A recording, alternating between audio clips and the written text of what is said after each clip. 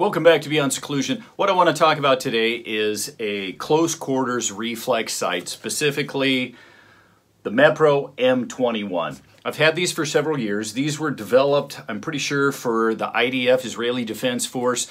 I think they were adopted, kind of put into play back in 2002, was available to the US market in 2004. Uh, real quick here, out of the box, the thing that I like about this system is it, it's the epitome of KISS. Keep it simple, stupid. There's there's no electronics, there's no moving parts, there's no dials, there's no batteries. That was a big thing that, that I gravitated for. I was looking something that doesn't have batteries. Now a lot of the newer stuff uh, has batteries, you know, with 100,000 hours, but wherever there's a battery, you could have a failure. Anyway, the, the KISS, even the box is KISS. You open it up, I mean, there's just not much in there. There's the little instruction book, which I have to say is, is really good as far as instructions. There is just a little neoprene cover. There's the kill flash that screws in, and then here is the sight itself. And I'll show you, we'll try to get a good picture through there. I have the one with the chevron or the triangle, uh, which I like because when it comes to a point, I feel like that gives me a little bit better accuracy because I can sight it in right on that point. Um, this is also the one with the quick detach, the kill flash, just simply screws right in there. There's pros and cons of this, but we'll we'll come back to that. The first thing I think, you know, maybe a con that you'll notice is it's not light. It weighs in at 0.8 pounds. When we compare that with others like, you know, my, my favorite SIG Romeo 5, which is really light, I like that. Um, you know, then when you start comparing it to like Aimpoint and EOTech and some of those, I still think that this is probably one of the heavier ones. But then again, that was sort of the intent is, is this thing is just a beast. It's for military use, so that's why it's heavy. Originally, this was, I believe, conceived and designed to go on the Tavor. You can see here, I've got it mounted on my Tavor, and it works great. So anyway, back to the sight here. It has essentially uh, fiber optics, which gather light and light it up. And then it also has a tritium, which is sort of, I don't want to say radioactive, but it illuminates with like a 10 year half life or something. So even in complete darkness, you will be able to see that. One drawback with this is um, if you are in a dark environment, looking outside, like if you're in a blind, if you're in a building, and you're looking out into bright sunlight, you do get some, you get some serious washout, okay? That is the only downside that I have really discovered with this is, you know, the washout. And it's it's fairly significant. Now, when you get it out of the box, first thing you're going to notice is there's only two things that you can adjust or do on this, and that is windage and elevation. You can see here is the elevation. It's got a little arrow, turn up, and then there's the windage. Each adjustment or click provides 1.7 MOA of movement, and I'm assuming that that's at 50 yards because that's where it's suggesting that you dial this in or zero it. In the instructions here, you can see it shows, uh, you know, basically military or combat zeroing. Assuming that this is on a 223, if we zero it at 50, you know, it's five centimeters low at 25, it's 150 or sorry, 15 centimeters high at 150 yards, and then it's dead on again at 250, and then just slightly lower center mass at 300 meters. Indoors, plenty bright, good picture sight, nice, crisp, clean triangle again with the camera. It's hard to see exactly how I'm seeing it. So inside looking outside, you definitely have noticeable washout. Um, the camera doesn't really do it justice. I can still see it. I'd still be able to shoot, but definitely noticeable washout. Now outside in full light, completely different story. Very bright, good picture, crisp, clean, triangle. Can't see it because of the focus here with the camera, but it's it's a good sight picture. So here it is with the kill flash. in place outside, we still have a nice bright, crisp, orange triangle, good sight picture. So like with any sight, it's not perfect. There's, there's always a trade-off. Indoors, awesome, thumbs up, nice and bright.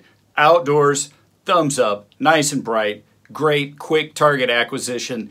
Inside in a darker, looking outside, as with any fiber optic or non-battery, you have washout. So that's going to be something that you would have to decide, you know, how often are you in that shooting circumstance where you're indoors in a darkened area shooting outside into a brighter area. If that is really never an issue, then then this is this is awesome. I mean, hey, if you have not already checked out our webpage, check us out, beyondseclusion.com. I've got a page on there, Crazy Stupid Deals. When I find things like this for 350 this is the idea of the Crazy Stupid Deals. These courses, you know, finance course, do you know anybody that's in school, high school or college? I got an online study skills course, first responders, law enforcement, military, firefighters. I've got a continuing ed on mental health. These things help fund Beyond Seclusion and keep the products coming for review.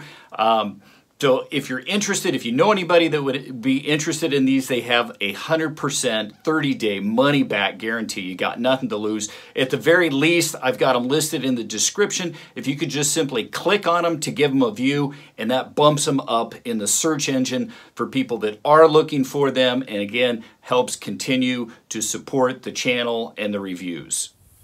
Okay, so we're outside. Gonna give this M21, here's the cover I was just gonna show you here take that off. I do have a UTG three times magnifier. I've got a video out on that. This is a great little magnifier, cheap.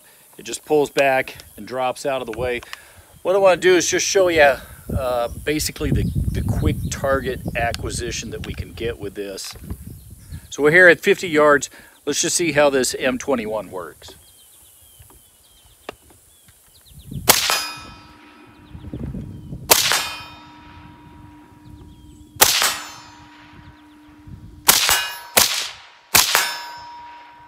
I do have my kill flash on there. Not super used to using that. I'll try taking that off.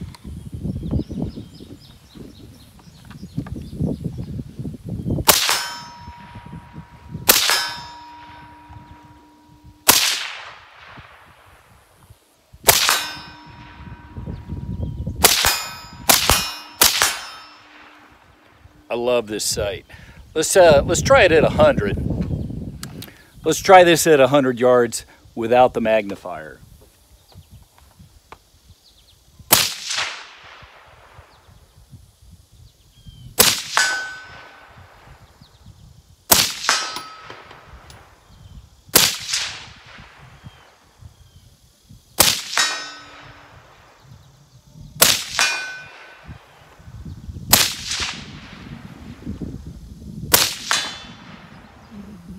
I'll pop my three times magnifier on, see what uh, how much of a difference that makes.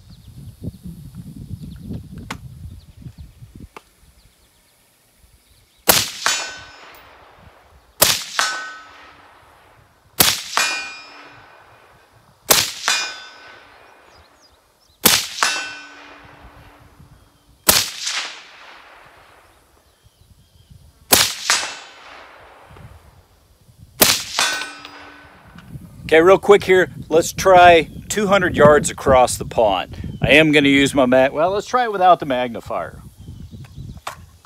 See how that works.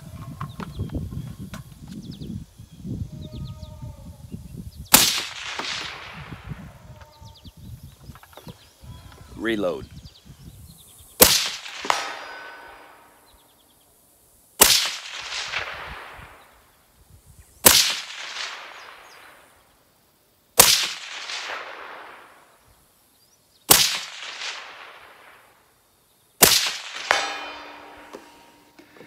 That's not for the sight. That's me holding it. Let's try resting it on a bag here.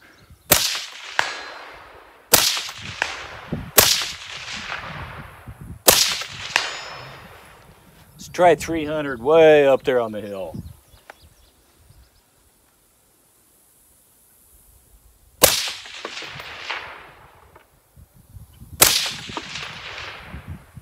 Try the magnifier.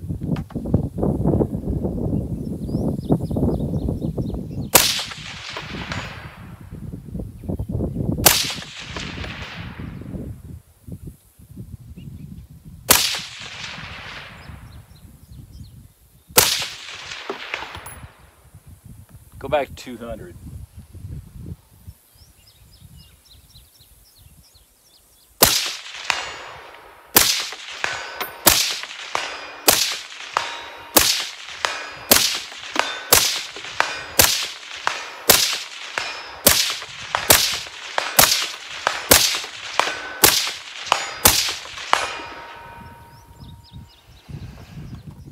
got to like that.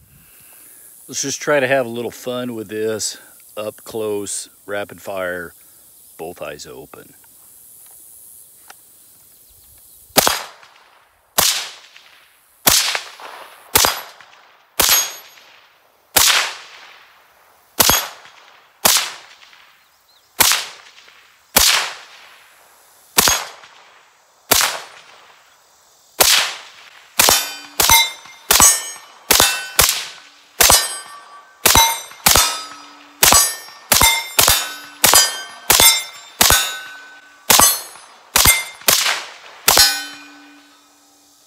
So that's kind of the final review on the Mepro M21. This thing is an awesome little battle sight. I mean, it is the epitome of KISS, keep it simple, stupid. We've got no batteries, no moving parts. It's just simply a battle sight. Um, uses fiber optics and a tritium illuminator for total darkness, quick easy target acquisition, both eyes open. You throw a three times magnifier on there and you have absolutely no issues at all reaching out two, 300 yards. You know, I was hitting it even at 200 yards, 300 yards without the magnifier. Hopefully you found this helpful. Be sure to like, comment, and sub. Remember, gun safety starts at home with educating your kids. Be safe and happy shooting.